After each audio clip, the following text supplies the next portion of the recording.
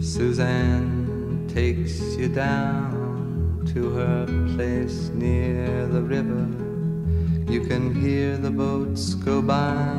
You can spend the night beside her. Fan is too mild a word to describe Leonard Cohen's legions. The Canadian songwriter's name was a social password for teenager Suzanne Vega. Do you like Leonard Cohen? If the answer was who, they could not be friends. Simply knowing his music made Australian country boy Nick Cave feel like the coolest kid in the world. It stamped a footprint so deep, he said, I could never listen to music the same way again.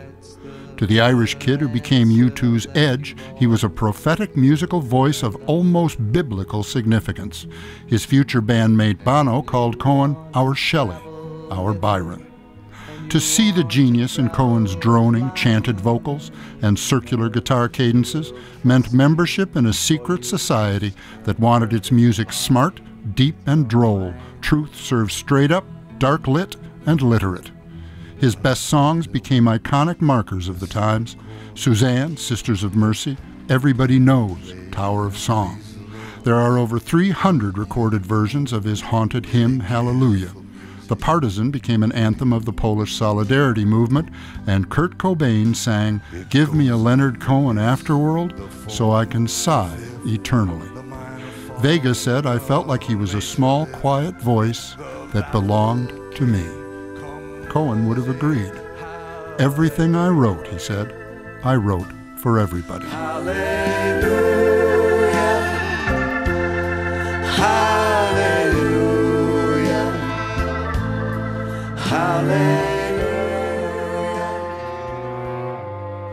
Born in 1934 to a prominent Jewish family in Montreal, Cohen worshiped at a synagogue his grandfather helped found.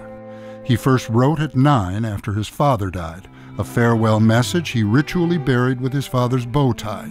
Tradition, ritual, sorrow, and mortality always inspired him. My family were good people, handshake people, he told the New Yorker. I never had a sense of rebellion.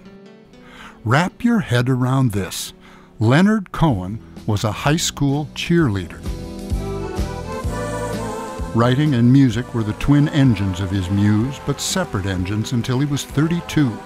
He wrote poetry, idolized Yeats and Lorca, while learning folk songs from the People's Songbook, studying the narrative cabaret of Edith Piaf and Jacques Brel, and playing in a country band called the Buckskin Boys. In a story eerily like a Leonard Cohen song, he took three guitar lessons from a Spaniard he met on a tennis court, learning six flamenco chords before the teacher killed himself. Cohen called those six chords and the patterns they made the basis of all my songs. He quickly became a critically acclaimed poet and novelist. His sultry, surreal second novel, Beautiful Losers, was a cult classic, earning him important cachet when he migrated to Greenwich Village. In 1966, he suddenly decided to become a songwriter. A friend introduced him to Judy Collins, who immediately recorded Suzanne and Dress Rehearsal Rag. She invited him to sing Suzanne at an anti war benefit. He was terrified, sang one verse, and fled the stage. Collins pulled him back, promising to stand beside him. The wild ovation eased his stage fright, but for years, Cohen said performing made him feel like a parrot chained to a stand. And yet, in his 70s, he became pop's unlikeliest road warrior, his shows favorably compared to Bruce Springsteen's for their length and crowd pleasing energy. I'll wear an old man's mask for you.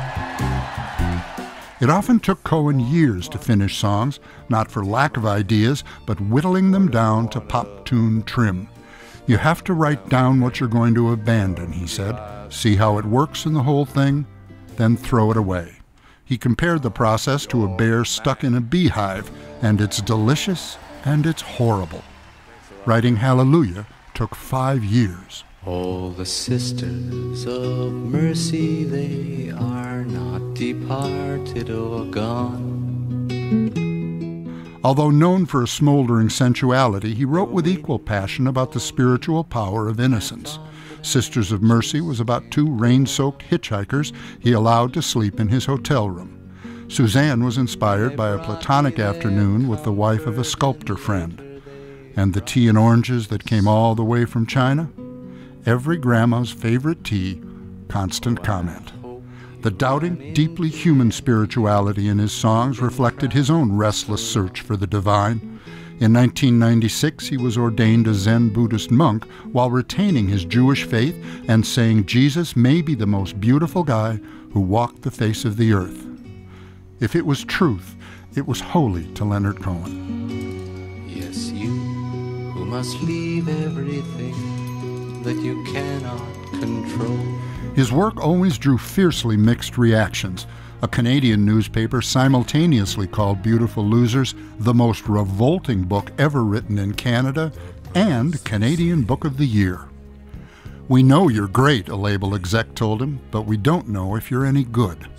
Inducted into the Rock and Roll Hall of Fame in 2008, Cohen mentioned he'd never won a Grammy, saying, I have always been touched by the modesty of their interest. Lazy critics saw only the darkness, dubbing him godfather of gloom, troubadour of sadness, writer of music to slit your wrists by. But it was not Cohen's darkness that drew us to his mortal flame. It was his eternal quest to find goodness and beauty within the darkness, shards of hope amid our broken places.